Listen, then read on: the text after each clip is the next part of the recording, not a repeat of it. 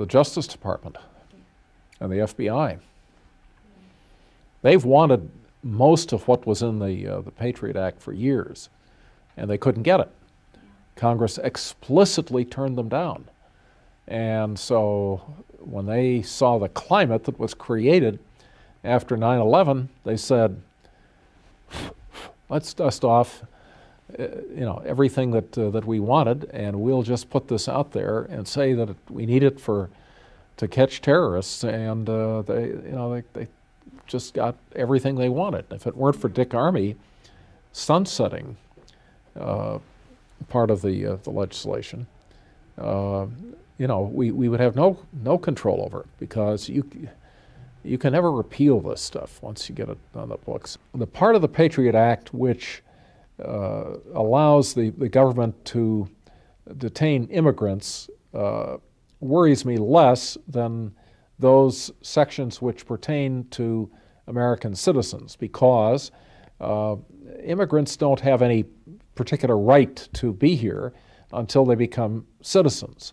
And, uh, but there, there is a point at which uh, I would change that uh, point of view uh, just in the context of human rights. I mean, uh, you know, you don't want to give government the right to uh, hold somebody forever uh, without any kind of explanation, without charges being filed.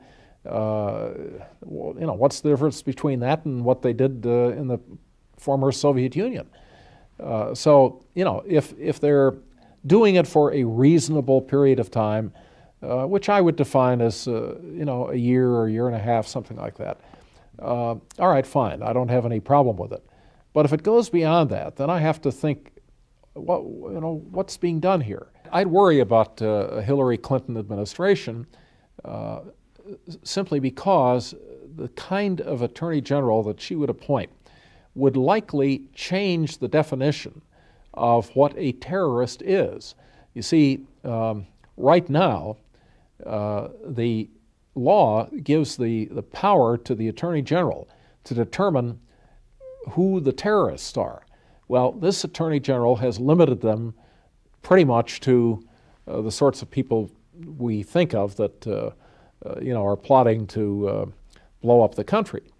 But if Hillary Clinton gets in and she still believes there's a vast right-wing conspiracy, she may well say, uh, well, uh, these uh, right-wing groups that uh, are against government power, you know, particularly libertarians and so on, uh, they really are terrorists because they, they don't support the government.